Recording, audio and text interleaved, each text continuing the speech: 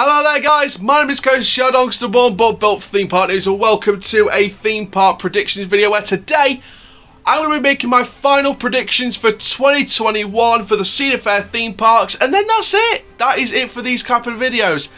Then they will go into hibernation, ready for 2022 predictions next year, uh, around the same time as they've been uploaded this year. Uh, can't believe we're at that stage again, where the prediction videos end for a few months. Uh, but yeah, we're going to make the final predictions. Again, like the Six Flags one with the COVID-19 crisis, it should be pretty easy uh, to make these predictions. Uh, not with the case that, um, you know, attractions are being delayed like Six Flags, but I do believe that the predictions are going to be very, very easy indeed. So, before we get started, here is how you can interact with the channel. If you've loved this video, make sure you hit the like button below. Make sure you also comment down below your thoughts and opinions on the video topic. And also make sure you subscribe to Coaster Chall YouTube channel for more. And click notification bell so you never miss a YouTube video. Please share the channel with your friends, your family and on social media. And make sure you also comment down below your video suggestions which will be saved, your shout outs which will be saved for the next day's videos. And also make sure you send in your merchandise continuously on Instagram and Snapchat the links for both are in the description down below and I'll save your merchandise pictures with your name and location for the next merchandise showcase video. Also make sure you get your questions in the comments down below. Use the hashtag question before or after your question and they will be saved for our 2000 subscriber Q&A. Also guys, make sure you reach that subscriber goal of 10,000 subs in the next 365 days and counting. If we do that, I will release Coaster Channel merchandise on a new website as well as other projects I've got planned for the long term future. Let's get into another thrilling video. So kicking off our predictions, we go to California's Great America. And it's very, very easy. Now, I predicted family rides and new events. Now, I'm going to go away from the family rides and I'm just going to predict they're going to launch some brand new events at the theme park. So very, very easy prediction to make.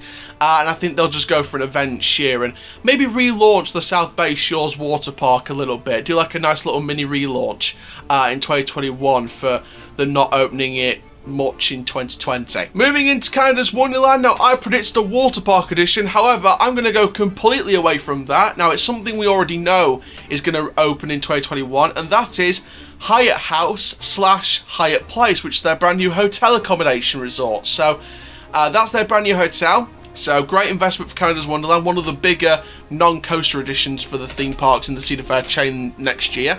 So it's a great hotel accommodation and a great investment for Canada's Wonderland in the long term. Moving into Carowinds, and I predicted family rides and new events. I'm just going to stick with the event. I think there won't be any new rides at Carowinds next year. Uh, if there is, I'll be surprised. But I think, uh, like California's Great America, it will be mainly events uh, next year. Moving into Cedar Point, and I predicted the continuation of the 150th anniversary celebrations. I'm going to stick with that, and also they're going to be launching the 2020 attraction in 2021, Snake River Expedition, which is their brand new slow-moving boat ride uh, on the paddle wheel excursion site uh, to help celebrate the 150th anniversary and celebrate the history of the theme park. So very nice uh, launch. They, do some great stuff for season pass holders uh, and annual pass holders. Uh, and you know they're doing some great stuff to keep them you know in the mix and keep them in the deal um, and to help them you know help them with a cheaper deal a nice a better deal uh, on their annual passes next year so uh, very good from Cedar Point and the rest of the Cedar Fair theme parks as well Moving into Dorney Park, and this is a pretty easy one. Now, recently, over the last couple of days, I spotted something on Reddit that um, it won't be long. Basically, this, the, the bottom line is it won't be long until fences go up around the site and foundation work begins. So, in 2021, I'm going to stick with the same prediction. We are going to get that Gravity Group wooden shuttle roller coaster uh, on the former site of the Stinger roller coaster, the Vekoma uh, Invertigo that left the park a couple of years ago now. So we are going to get this brand new Gravity Group wooden coaster, the Shuttle Coaster. Look at Switchback at ZDT's Amusement Park, or ZDT's I think it's pronounced Amusement Park. Um, you can have a look at Switchback. Basically, it's going to be a bigger version of Switchback if you look at uh, POVs of that attraction. Moving into King's Dominion, and I predicted the same thing I'm going to stay with, and that is an S&S 4D free spin coaster replacing their former Huss top spin, the Crypt. Now, like I've said, and like many people have said all along, this will be filler for their next big coaster, which is of course replacing Volcano the Blast Coaster, which they closed a couple of years ago now. Um, so basically this is the filler coaster. This is like the first coaster before the next big coaster. Uh, so it's still nice to get a coaster before a big coaster, uh, replacing Volcano, and of course this one's replacing the Crypt, and I think that a free spin is a great coaster to have. But I think the big battle will be between this free spin and of course Dragon Slayer that's opening at Adventureland in Iowa in 2021. That's going to be the battle of the free spins uh, this year. Uh, or next year, sorry. Moving in then to King's Island, and I predicted a possible Grand Carnivale celebrations events type year, and again, I'm, I'm going to stick with that. They've already opened Orion, so there's no point delaying a 2020 attraction that's already opened. Orion's been getting great reviews from people, so uh, I'm very glad to hear that that's gone down a big success because it's the Giga Coaster we've all been waiting for at Kings Island. And of course, these new events will make it an even better all-round year next year. Moving into Knott's Berry Farm, and again, extended celebrations of the 100th anniversary. I'm going to stick with that prediction, uh, and it will be that prediction basically. So, you know, uh, I think that it's definitely going to be that kind of year, really. Um, I think that Knott's Berry Farm, I'm not too sure they've opened their Knott's Berry Tales Return to the Fair yet, so maybe they could delay that till next year if they haven't opened it already. So, you know, I think we could see the relaunch of their new dart ride next year as well. Moving into Michigan's Adventure, I predicted a Grand Carnivale event. We're scratching that. We know what's happening for 2021. It's their delayed Camp Snoopy area for 2020. Of course, that's replacing the Bebop Boulevard Antique Cars Ride. Um, finally, a new attraction at Michigan's Adventure, and it's been delayed till 2021 damn it.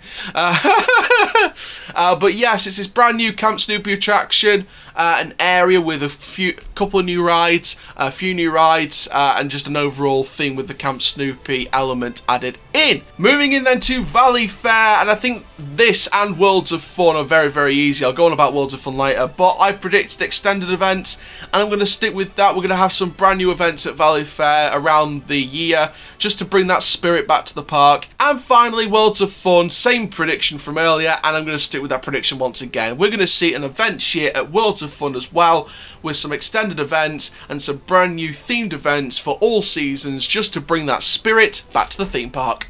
So there we go. That is my predictions, my final predictions for 2021 at the Cedar Fair theme parks.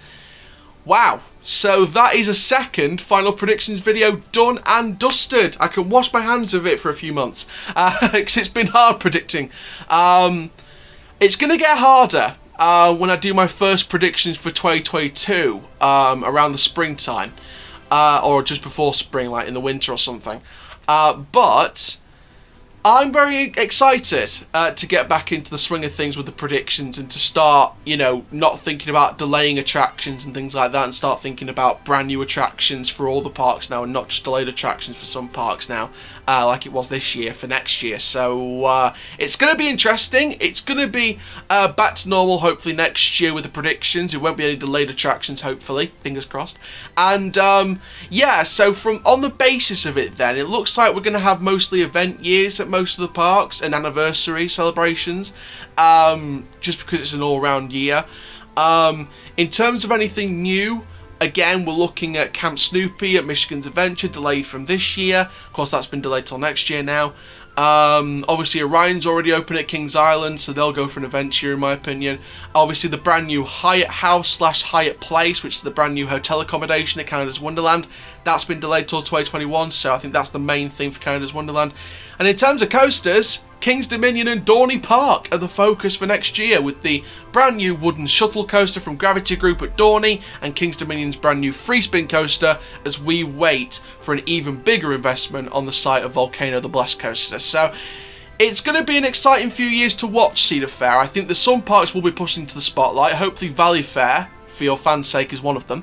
And um, yeah, very, very good. Uh, and also, guys, if you've got an opinion on my predictions, comment them down below. I really don't mind if you don't agree with some of my predictions. Uh, if you think that some parks are going to do better than just events, then please put them down below. But I think with the current climate and I think with some attractions being delayed till 2021, I think it'll be a safe bet that they just do events. Whether some parks put in a water park edition or not is up to you guys.